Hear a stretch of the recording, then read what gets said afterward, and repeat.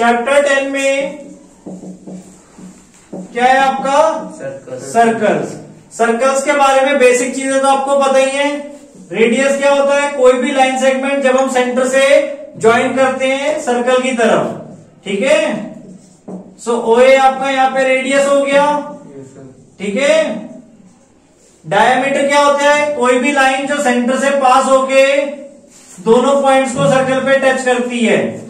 ठीक है सो P Q यहाँ पे आपका डायमीटर कॉर्ड आपका बेटा कोई भी लाइन सेगमेंट जो सर्कल को दो पॉइंट पे टच करती है उसको हम कॉर्ड कहते हैं। सपोज़ एक्स वाई यहाँ पे कॉर्ड हो गई और लॉन्गेस्ट कॉर्ड कौन सी होती है?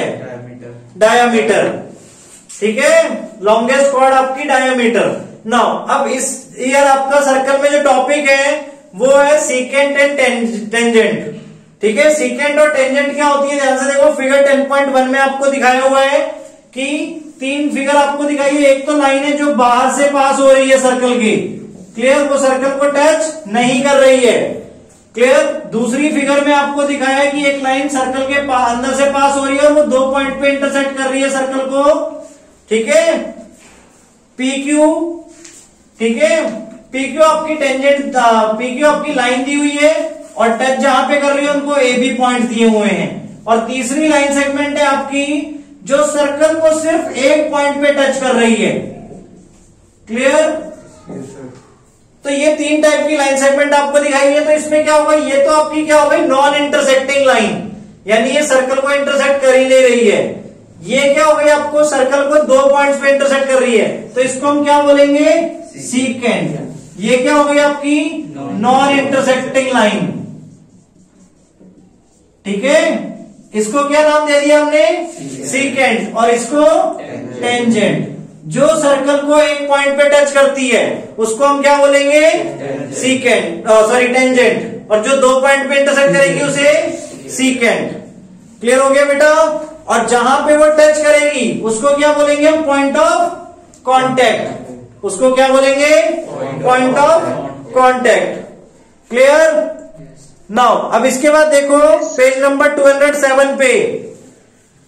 लिखा भी हुआ देखो a tangent to a circle is a line that intersect the circle at only one point clear tangent क्या है जो सर्कल को सिर्फ़ एक पॉइंट पे टच करती है या इंटरसेक्ट करती है?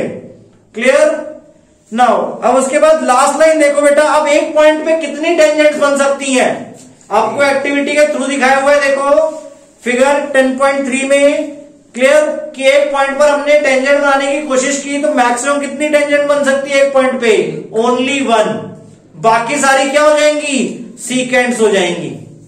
टेंजेंट एक पॉइंट पे एक ही बनेंगी, बाकी सब क्या हो जाएँगी? सीकेंड्स क्लियर आगे समझ में देखो, वहाँ पे लिखा है बोल्ड लाइन में there is only one tangent at a point of the circle clear और सर्कल में पॉइंट्स कितने होते हैं?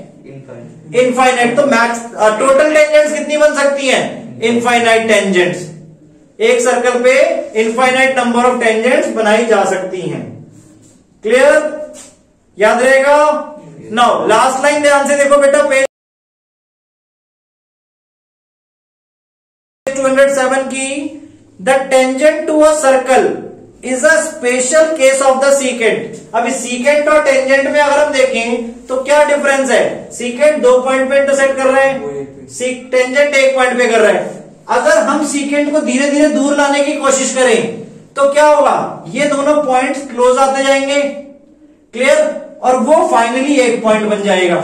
आया समझ में? तो ध्यान से देखो लास्ट लाइन में क्या लिखा है? Tangent to a circle is a special case of the secant where the two end points of its corresponding chords coincide. यानी ये जो कॉर्ड आपकी ए बी बन रही है वो धीरे धीरे अगर हम इसको इधर क्लोजर लाते जाएँ ऐसे ऐसे क्लियर तो ये जो दो पॉइंट्स हैं कॉर्ड्स के वो आपस में कोइंसाइड हो जाएँगे और आपकी टेंजेंट बन जाएगी।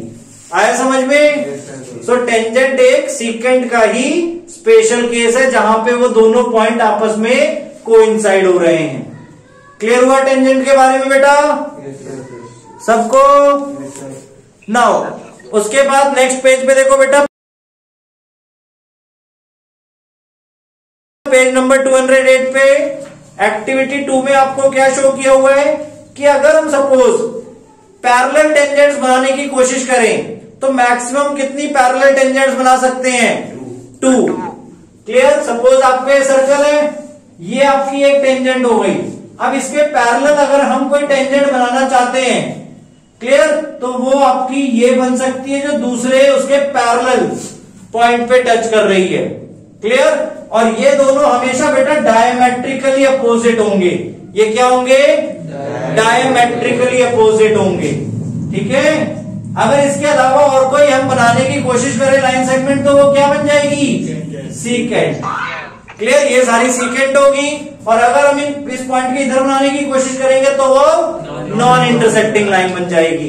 क्लियर तो ना तो वो सीकेंट होगी और ना ही फिर टेंजेंट होगी। तो मैक्सिमम टेंजेंट्स पैरेलल कितनी हो सकती है टाइम पे? दो। क्लियर बेटा?